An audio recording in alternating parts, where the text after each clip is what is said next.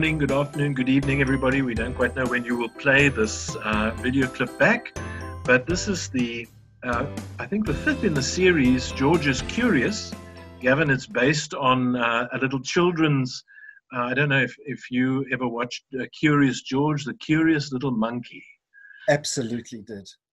I'm curious, and I'm curious in this instance about First Peter, and my guest is the Reverend Gavin Lock, the minister of the St. James Presbyterian Church in Bedfordview, Johannesburg, and a longtime friend of mine. And I'm so excited to be in, in his company today and to share this study on First Peter chapter 4. Welcome, Gavin. Thank you, George. It's such a privilege to be able to share in this time with you. And uh, we won't reveal to the folk who are watching this that I knew you so long ago that you had a different name, but uh-huh. I won't reveal the secrets to the public. It was like it was like Saul becoming Paul. Or is that what it was okay. Uh, Gavin, do you know, just out of interest, uh, I'm going to throw one at you here. Is the St. James, uh, after whom the uh, congregation is named, the brother of Christ or the disciple of Jesus, the son of Zebedee? It yeah. is the brother of Christ, as far as I know. Okay. The, the one who chaired the council in Jerusalem in Acts 15. That's correct. That's okay, right. okay, that's interesting. Okay, Gavin, we're looking at First Peter, and we've uh, had a little bit of time, a few weeks, to go over some things. We've discovered that it was Peter, but not only Peter. Peter writing with Silas, uh, also known as a companion of of Paul, hmm. um, and that's why the Greek is so good. And Peter is writing this letter, and we discover it's not just a general letter; it's actually written to a particular audience, and that is people who are living, first generation Christians, living in the north uh, uh, west, no, northeast of uh, Turkey, modern day Turkey. Uh, we've traced those names, and we think it's an early letter. And he's giving some advice, and we're taking it as advice to Christians of a first generation who are trying to work out how to live in a pagan world, a world that doesn't understand their ethics or, or worldview, and um, and and but also of obviously um, it's it's good advice for us. Now, in the first part of chapter four, um, Peter is describing a change which happens to Christians, and we're familiar with this because we find it all over the show. Jesus used terms like uh, when he was speaking to Nicodemus, you need to be born from above or born again. Um, and then uh, Paul talks about a turning around, a metanoia.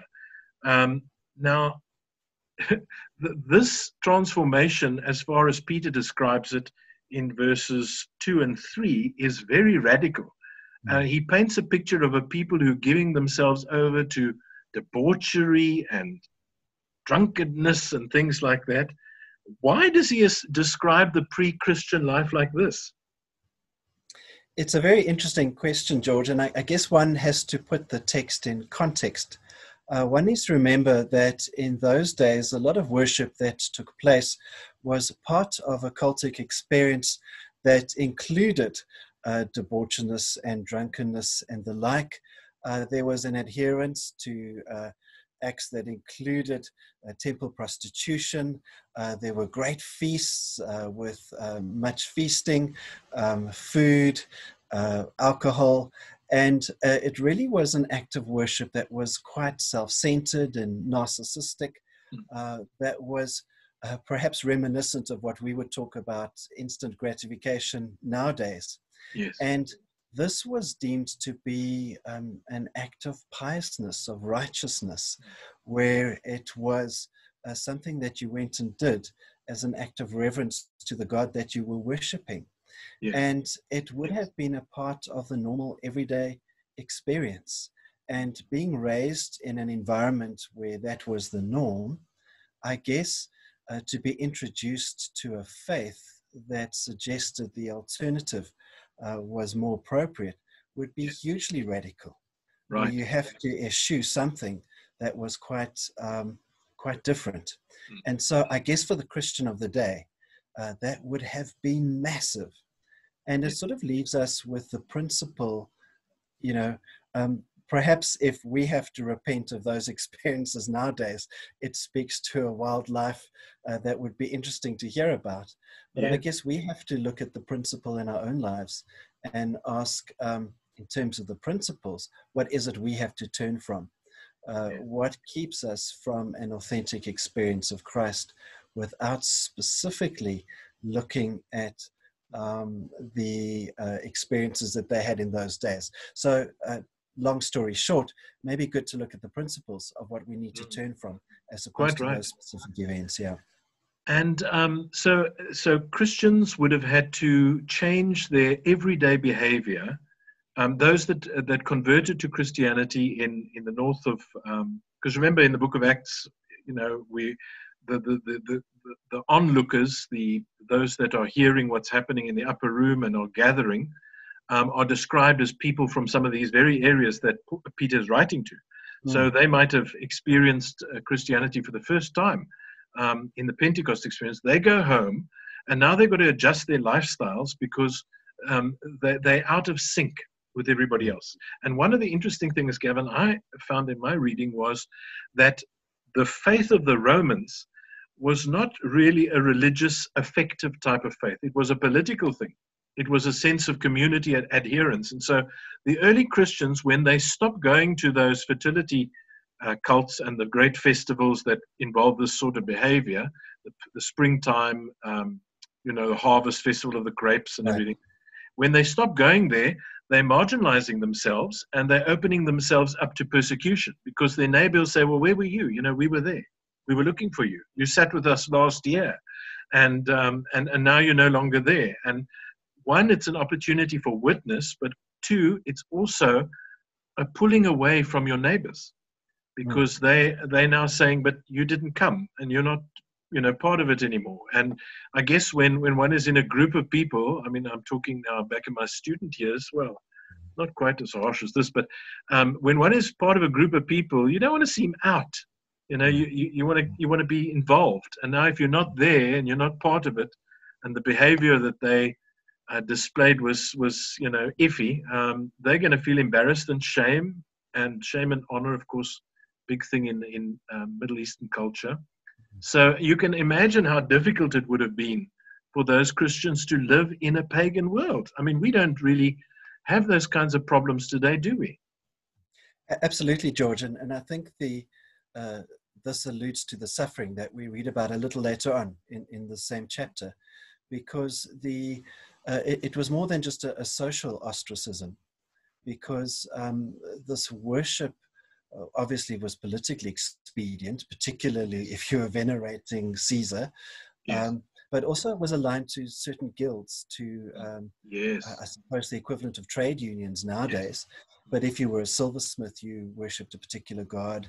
Uh, you uh, practiced your trade or your craft in a particular area. Um, yes. You uh, cooperated with each other. And if you eschewed that worship, um, if you denied that God, you were also kicked out of that guild. Uh-huh. So you lost your ability to earn an income. Yes. And so there was an economic isolation. Of course, there was a social isolation. And of course, um, families, uh, you know, usually worshipped together as, as units, yes. and you could be ostracized from the family as well. Right. And I think when it comes to sin, nowadays we tend to moralize it. Uh, it tends to be a moral issue. Whereas in those days, it was uh, much more pragmatic. Um, it was about the breaking down of relationships. And um, this, this whole uh, debauchery that Peter refers to is, is very much about a breakdown in, in that sort of sacrificial love, that giving, that serving of others, that connecting with others. It really was self centered. And um, to walk away from these pagan cults uh, is really to uh, walk away from a, a, selflessness and to move towards a, um, a, unconditional love towards others. Yes. And that kind of whole attitude, uh, which we'll see later on in, in, in the chapter, is quite foreign to right. to I guess those acts of worship. So yes. um, overall, the whole experience would have just turned everything on its head. Yes. I'm sure you've heard of the, the phrase homeostasis, uh, oh, sort of a, a, family a family system where um, families try and seek a balance in everything that they do. Yes. And if someone came into the family and started worshiping uh, differently, not only a different God, but in a different way, with a different attitude and a different set of priorities. Mm. Everything would have been turned upside down. Yes. And so the suffering would have been social, it would have been economic, it would have also been psychological. Right. Because everything that was safe would now be um, different. And Yes. uh, the position from which people were operating would now be completely different from what it was before. Mm. So I think Peter was writing to a group of people for which everything was in crisis. Yes. And I think they were lost because their culture, their values, their worldview was just completely different from what it was before. Right. And so, you know, you and I have the benefit of um, operating in, I'm going to risk a poor terminology here, a, a Christian culture or a Christian world, where even if we're not practicing believers, uh, we're familiar with the values of our faith. Yeah. Um, but for them, it was so different. And so Right. that's why it was such a crisis for them. No, that's And very that- helpful. Yeah. And then if we go on, so Peter, in in in his trying to help, he's giving advice uh, to this group of people in that sort of situation. Um, he encourages them in two words that jump out to me. Verse one: You must arm yourselves. That's reminiscent for me of Ephesians six, and then you must listen. Interesting. And then he calls them to live differently. And I want to try and put this up on the screen here. Um, so and I'm going to use the message version, and there I've got it on the screen. So basically, what um, what Peter is saying is, and this is from verse seven to eleven. Everything in the world is about to get wrapped up. So that is eschatological thinking. Take nothing for granted. Stay awake in prayer, wide awake in prayer. Love each other as if your life depended on it. Be quick to give a meal to the hungry. Be generous with the different things that God gave you. So, so he, he is giving them um, really very. I mean, you, we, call this ethics, but it's really very practical, isn't it? Mm, absolutely. Um, and it's almost the antithesis of their previous worship experience. Uh, there are a few things here. Uh, uh, it's really about a change in attitude, that arming of yourself. I love that. Um, i i as you say, it's reminiscent of Ephesians 6, uh, with uh, where you've got a shield and a soldier who's um, preparing themselves for battle, uh, where their defenses are almost up. And um, and he's really talking about our, our minds, how we've got to have a change of attitude. You'll see it's not only at the beginning in verse 1, but Yes. also in verse 7, he talks about being of sober mind. And Right. there's almost a sense where Peter is saying we need to change our attitudes um, from being narcissistic, from engaging in this drunkenness and debauchery and all the rest. Um, again, not the specifics so much, but the general attitude of serving our own needs to a place where, uh, and I'm going to quote the message you've got here that's beautiful, where you love each other as if your life depended on it. And that's the radical change that Peter's talking about, Yes. where our lives shift from being about ourselves to serving others as though our lives depend on it. Yes. And then he goes on to, to give the most beautiful examples. Be quick to give a meal to the hungry, bed to the homeless cheerfully, uh, be generous with different things. Um, such a lovely, practical way of showing people what it means to love. Yes. You know, I think, uh, George, you may uh, agree with me. I think we tend to super spiritualize things too much. You know, um, the one verse here where it talks about drunkenness, uh, you'll find us being uh, standing in the pulpit and speaking against um, drinking wine, which I guess in Somerset West would be a heinous thing to say, uh, surrounded by so many vineyards. But that's not what Peter is saying. Peter is saying um, it's about not serving your own interests, Mm. it's about learning to love, which of course is the great commandment. Yes. And that is the shift that he's talking about here. Um, is that in this great suffering that you're experiencing because of this transformation from worshiping in these cults to worshiping Jesus, yes. the single best thing that you can do is to change your mindset, to guard yourself, to protect yourself by no longer expecting to serve your own interests, but by loving one another as though your life depended on it. Yes. Yes, I don't know about you, Gavin, but I found myself tremendously disappointed um, monitoring social media and the newspapers and the even the the remarks that have been made after political speeches and so on um, by the selfishness, the sheer selfishness of people. And, the, and it's almost as if this um, coronavirus uh, pandemic and its lockdown and so on has, has brought this to the fore. You know, the, the extent to which, I mean, I enjoy a glass of wine, I love a whiskey and so on, but I mean, the extent to which people are, you know, are absolutely um, beside themselves when they can't buy it, uh, whether it be cigarettes or alcohol or whatever, and and all of a sudden, you know, because and and you know, uh, us white South Africans are being affected, sure, by this thing. But can you imagine the very poor who've lost their jobs and so on? I mean, you can't even put them, yourself into right. their shoes, and yet Absolutely. the ranting and raving that goes on, uh, mm. the sheer selfishness of people, and what Peter is talking about here in verses 7 to 11 is an mm. antithesis of selfishness. It's a generosity. Absolutely. I mean, to just to expand on your example, um, you know, you, you go into a into a shopping mall or into a shop, and and someone's refusing to wear a mask, um, and and they will wax lyric about it, um, not comprehending that this is not about them. This is about the people around them. Yes. Um, and keeping the people around them safe. And irrespective of their own views, it's about respect for others.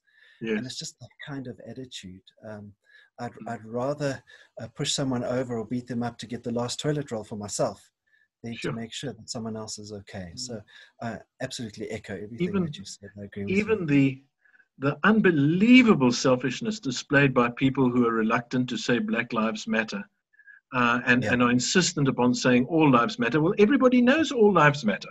But in this instance, when a black man has been killed by a police officer, what, what does it take from you to say Black Lives Matter? Does it take anything away from anything else? I mean, oh, unbelievable. And uh, I just, I'm, I'm so motivated by this beautiful and simple advice that Peter gives, which is all about other people, hmm. keeping other people safe, as you say.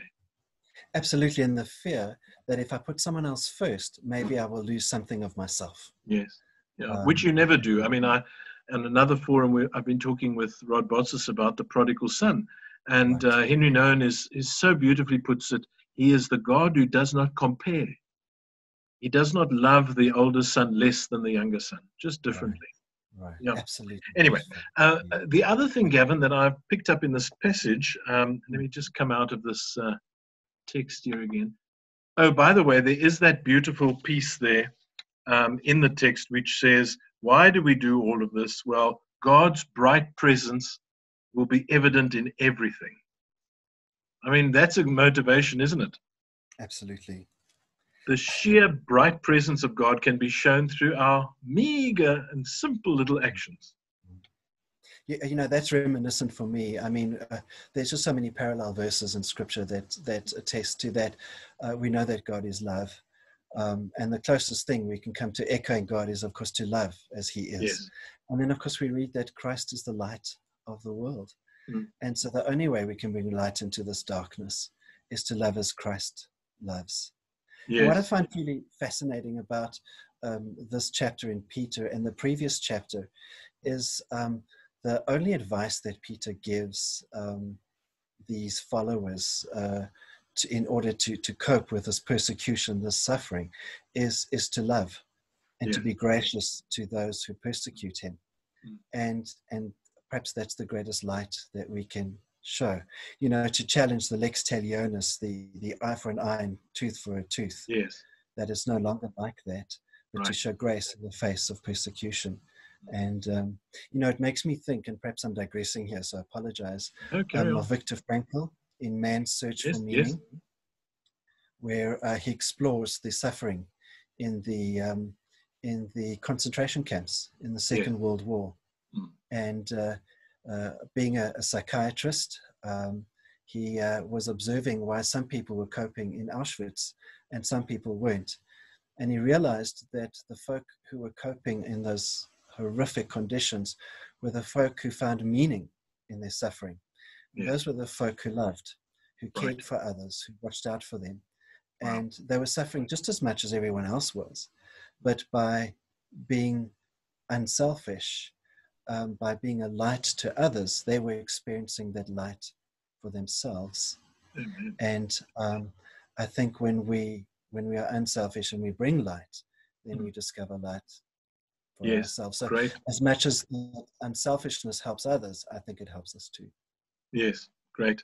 Okay, now there's another little phenomenon I picked up here as I was moving through this passage, and that is something that I picked up before in First Peter, and that is the um, the understanding of Peter and perhaps the early church um, that the end of uh, things was imminent, the return of Christ was imminent, um, the end is near.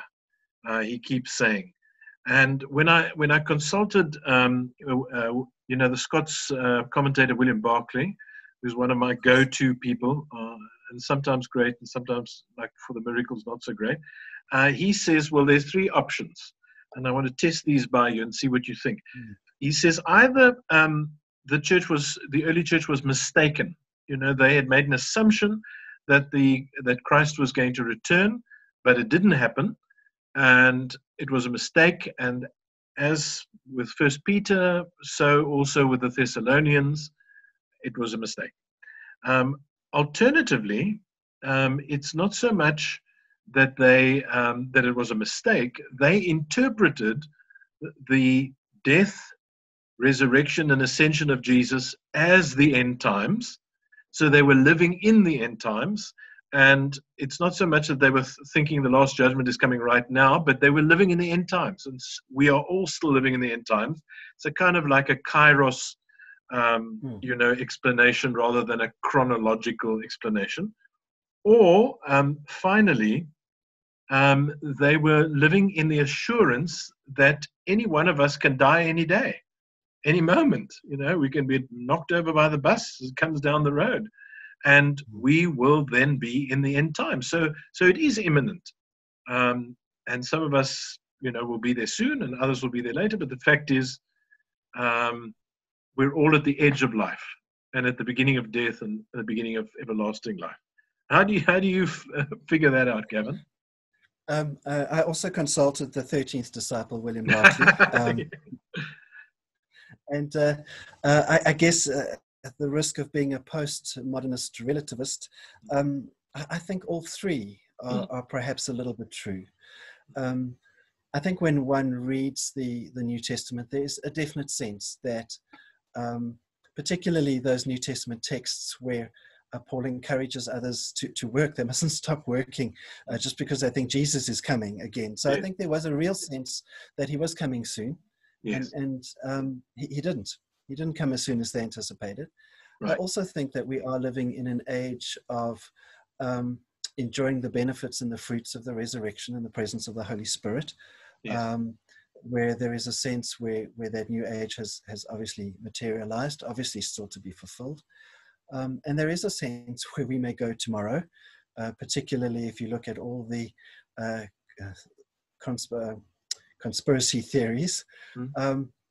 But I think I think there's also a strong psychological phenomenon here. Um, if you look at the suffering that a lot of the early church experienced, uh, they they needed to hold on to some form of hope. Uh, they needed something to endure, almost the carrot in front of the donkey, as it will as it were, excuse me. And, um, and that one hope when you've lost your income, perhaps your family or relationships, is, is the idea that Jesus will come again right. and fulfill all these promises and dreams. And we see that at the beginning of Peter, where Peter uh, sort of shifts um, uh, the idea of, of salvation from sort of a temporal, um, materialistic blessing into things that don't perish okay. uh, the eternal, you know, the grass that fades into something, a salvation that has a longer lasting investment and consequences. Yes. And um, it's an investment in eternal things.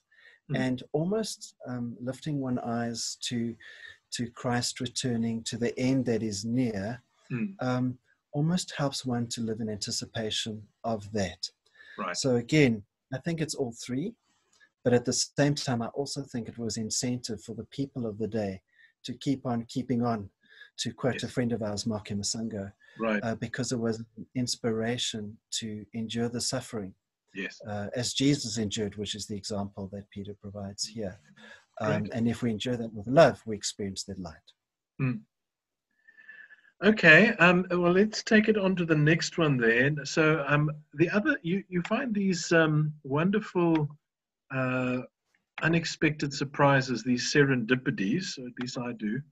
Um, and in this passage of 1 Peter 4, there, um, Peter uh, highlights for us two of what I think are the, um, the great tasks of the church and I put on the NIV here, if anyone speaks, they should do so as one who speaks the very words of God. If anyone serves, they should do so with the strength God provides, so that in all things God may be praised through Jesus Christ. So, um, speaking and serving, and, and really from day one, uh, they have been uh, very important you know, aspects in the church's life. Um, the very first uh, great sermon after the Pentecost experience was Peter addressing maybe some of the very same people who he was addressing now, those that were coming to the city of Jerusalem, God fearing people, um, to celebrate the, the um, was it the Feast of Weeks? And then, um, and then, so he was speaking and, he, and people were converted and so on. But then, very soon after the organization of the Jerusalem church, we see the introduction of the deacon and the deacon is the one who's supposed to serve. The apostle's going to do the preaching, the deacon's going to be the one to serve. Very soon we realize this thing's not going to work exactly as, as the early church intended because Stephen is actually preaching, and that's what gets him stoned. Um, but, um, but preaching and serving, uh, are these still important for us? And, and why doesn't he mention some of the other things, do you think? I think, again, it's, it's about uh, principles. Um, uh, or the principles that, that this particular verse represents. Remember, faith in those times was very anthropomorphic, um, anthropocentric.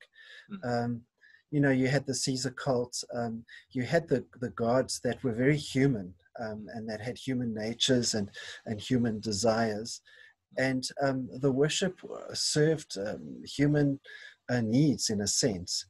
And there's this massive shift as Peter writes to these Gentiles. Yes um, where he's challenging them. And again, this comes to changing the attitudes of the minds that we referred to earlier. It all ties in together, where um, everything has to shift from oneself to the other, to the holy other, uh, to quote a great theologian, where our focus is now on God and not on ourselves. Yes. Our focus is now on the eternal and not on the temporal. And our focus is on investing in love and sacrifice and not on meeting immediate needs and immediate gratification. And so when I'm speaking, I'm serving God. I'm serving God's agenda. I'm serving um, His um, purpose. Yes. And so um, the things that I say will be governed by that agenda, not by my own. Right. And um, you know, often when we serve, we do it with ulterior motives. I think my greatest complaint about our faith is that it can be very selfish because uh, we're only doing it because we're only getting to heaven, which Yes. shouldn't be the basis of what of why we believe. We we Right. believe because we desire a relationship with with a living Christ, Mm. and I think what this text does and and this goal of the church is it mediates why and what we do, and Right. if this becomes the overarching principle of our belief, Yes. it ensures it, sort of takes us away from the rules and, and from following a set of rules that Yes. if these become the boundaries that if we speak with the words of god as long as our words serve god um, then they are authentic and if we act in the strength of god then our actions will honor him Yes. so it takes it from a rule-based faith to one that seeks to build relationship with god and build relationship Yes. with, with the other and invite uh, invite the other into the relationship with God as well. beautiful Um, so Absolutely. we're loving our neighbor, we're loving our God, but we're also uh, facilitating a way for our neighbor to meet the God who, who desires the best for us. Um, absolutely Gavin, um, the, the next one um, has to do with a fiery ordeal. And uh, I was fascinated by this. Um, you know, it's probably uh, referring to a sort of persecution, but one thing I did pick up um, is that the, Peter's words are getting more extreme when it comes to the persecution. Uh, he, he waits until chapter 4, verse 12, to refer to the persecution as a fiery, if it is the persecution he's referring to, mm-hmm. as a fiery ordeal. Um, in the NIV, don't be surprised at the fiery ordeal that has come on you to test you, as though something strange were happening. Um, is it persecution, and why has it become a fiery ordeal? Do you think? Uh, very interesting to to look at the the different academic um, proposals regarding the fiery ordeal. You know, there's some debate in terms of when this letter was written. Yes. Uh, whether it was Peter himself, uh, whether it was later or earlier. Yes. Um, and part of the debate was whether uh, there was a state sponsored persecution of the Christians.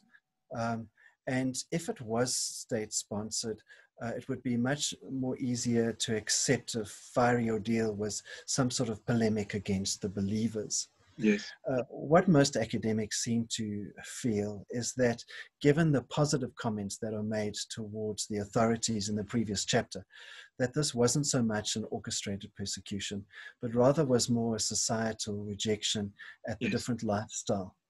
Um, and so uh, they struggle to pin it down to a specific event, um, but rather see it as just a whole upheaval, uh, some of which I've mentioned beforehand, mm. that has just turned the whole world uh, on its head for these believers.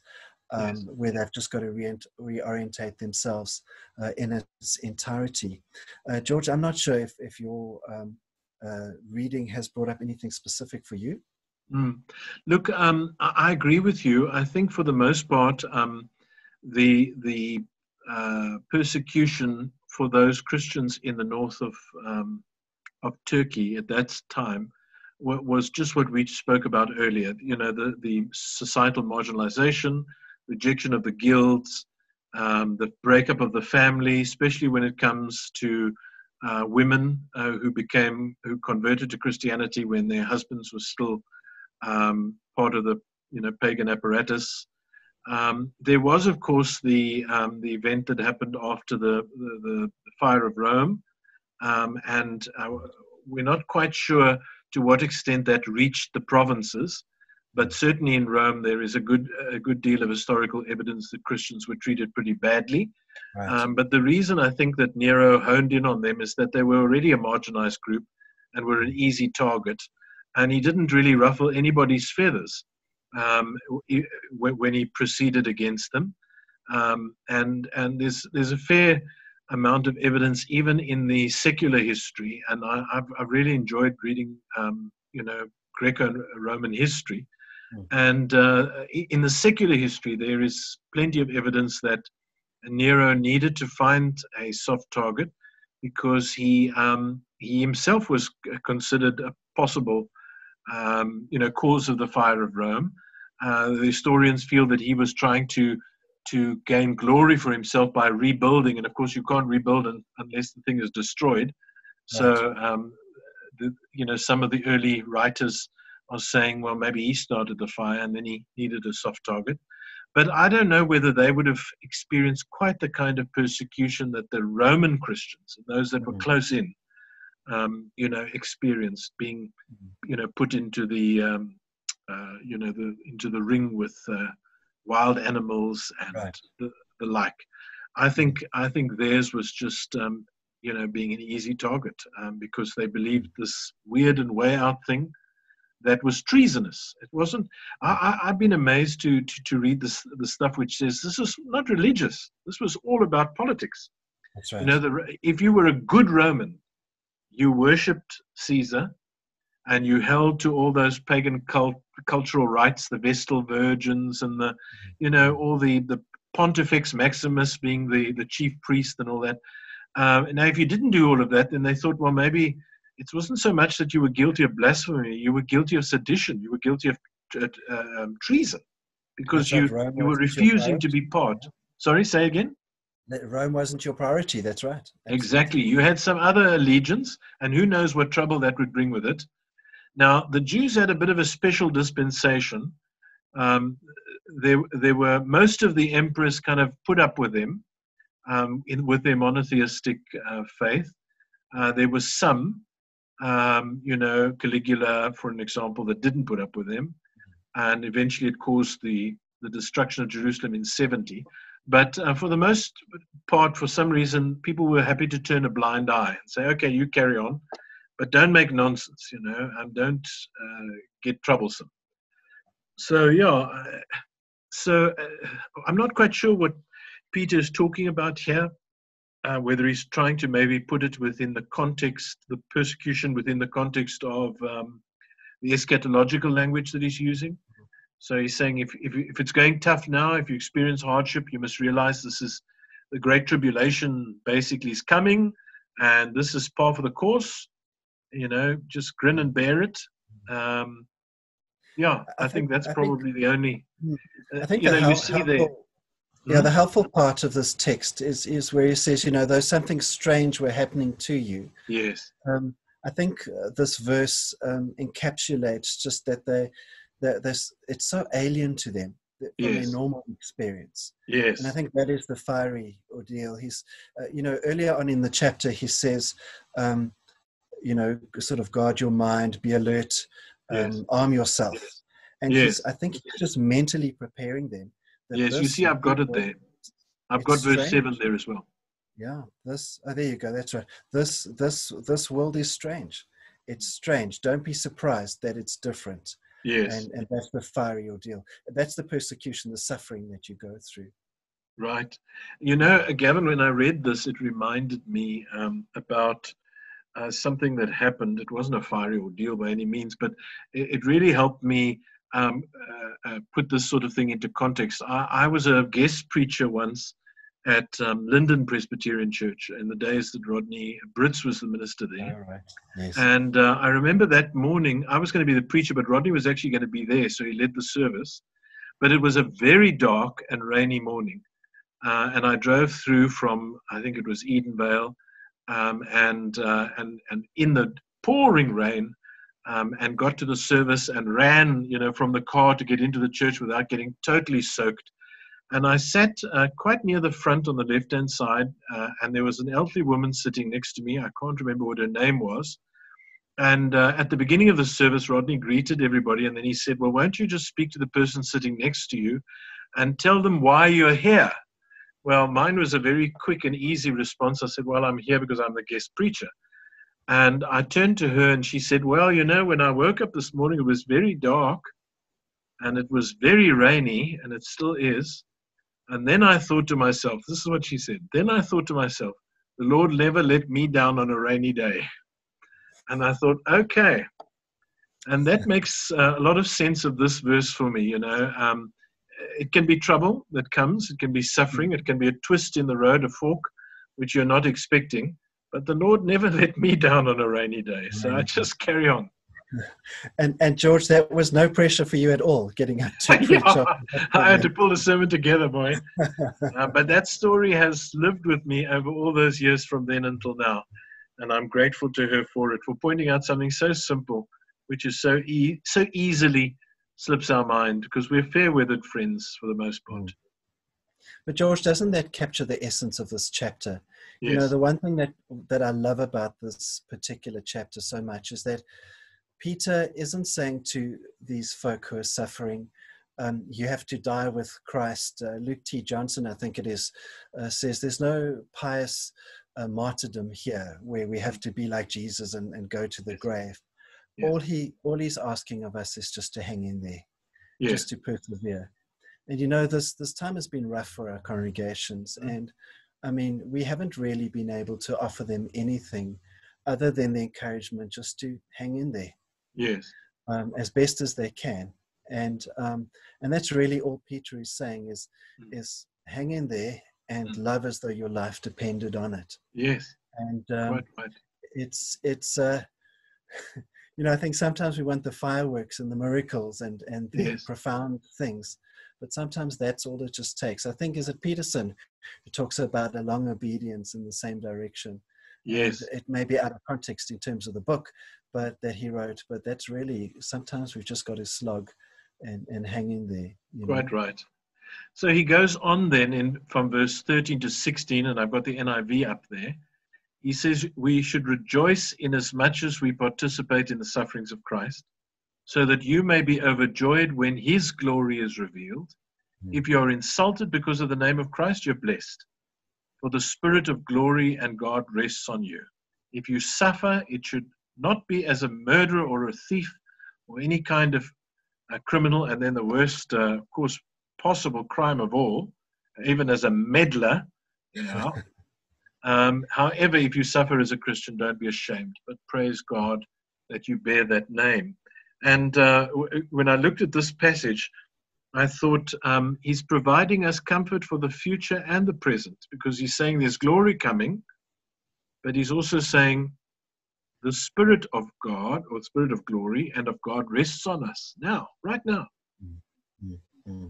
That's what happens to those who, you know, who suffer for the right reasons. I think that's so beautiful. And, and uh, um, uh, the one commentator um, links that to the Shekinah, the, the, the sort of the presence of God, the light of God that rests on you. And, and I think that comes back to the love concept earlier mm. that in our suffering, if we continue to, to love, that's the glory of God. That's the beauty of God in us, is his love and his grace. Yeah. Doesn't that come back to, um, to Frankl's meaning? If we're going to suffer, it might as well be for a good reason, for a good yes. purpose. And, um, and it's so much easier to endure suffering if you're doing it for, for a good reason yes. than it is to suffer me for, for, you know, if it's meaningless. Absolutely. And, uh, yeah, and I think that's what he's alluding that's to. That's the key, that's the absolute key. But yes, you mentioned the Shekinah, the um, the glow. You know, the, the Moses having to put that little veil on his face because people were uh, afraid. So if you suffer, then um, and and it is for for the sake of Christ and for the sake of the gospel, then there is a glow about you. Um, mm. Stephen, apparently, there was a glow about him when he was being stoned to death for his faith. Um, in Acts chapter 6. Well, I'm fascinated. I'm always fascinated by the naughty bits, you know, that get stuck into these um, verses. Now, I love this even as a meddler, and I looked it up in the Greek, allo trip, allo trip iskopos.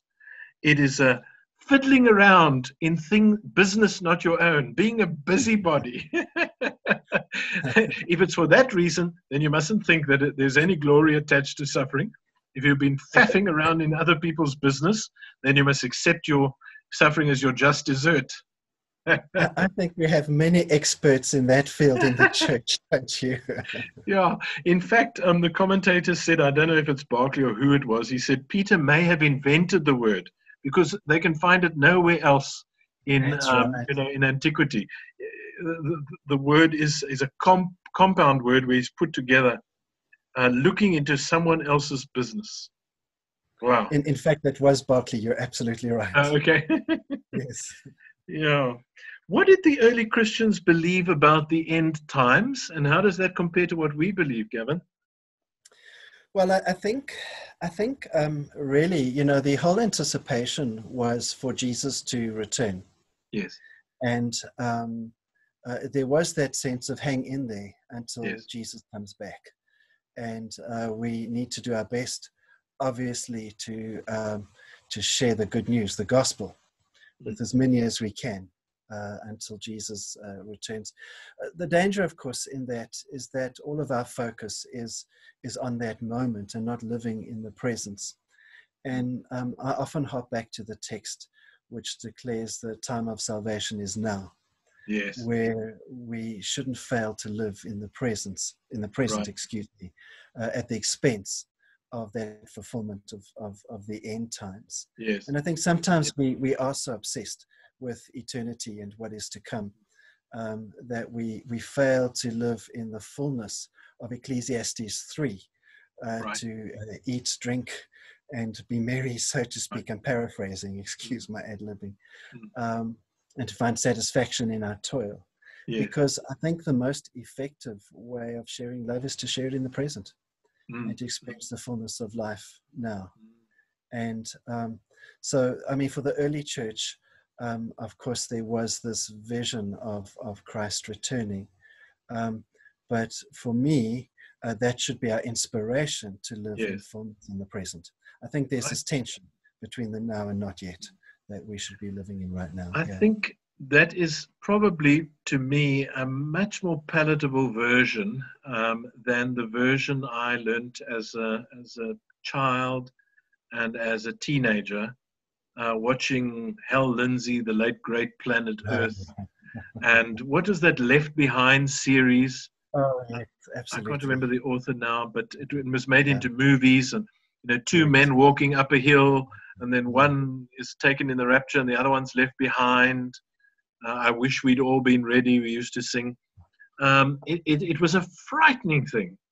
Um, and and look i mean fear can be a motivator but it's not necessarily a motivator for the long term because we we, we become unafraid in, in the presence of familiarity.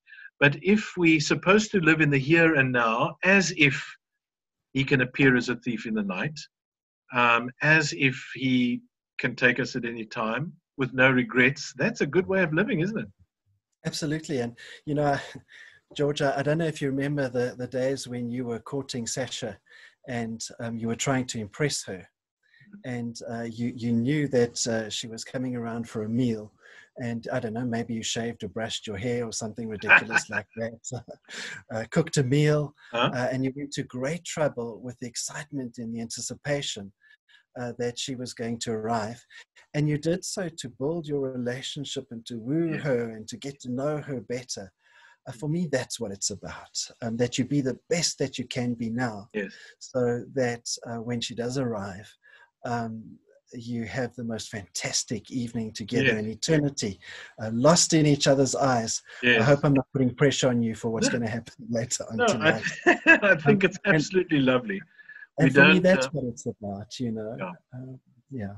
Uh, that's that's what um, what uh, John writes from Patmos to the Ephesians. You've lost your first love, and what's the antidote? How are you going to come back? Do the things you did at first. So you, you're telling me to do in my relationship with Christ exactly what John is telling the Ephesians to do. You must. That, that's right. There you go. You know what what was good for courting must be good for for the rest. Um, Gavin, I think we probably have time just for one more question, and I, am going to take my cue from that Revelation reading.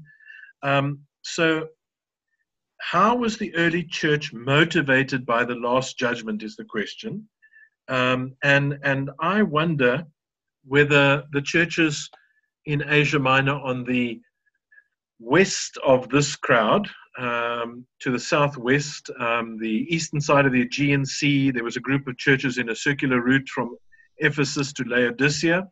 Um, and in Revelation 2 and 3, we hear about this. But they get a privilege that you and I and our congregations may never get. And that is they get a first hand account of how Christ sees them. Mm um, you know, and you know some of it's not good, some mm. of it's pretty awful.